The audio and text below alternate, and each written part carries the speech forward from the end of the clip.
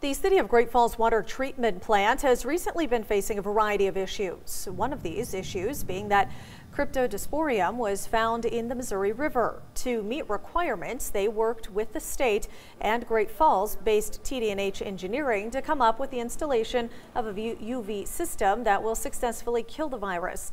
This new construction addition costs approximately $25 million and will now pave the way for other communities in Montana to design and implement larger scale UV disinfection technology.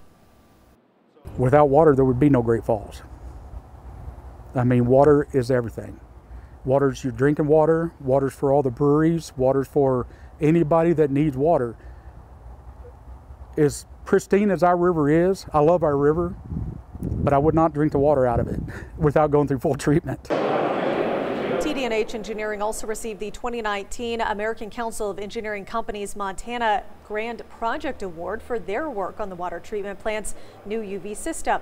It's set to be all complete by the end of the year.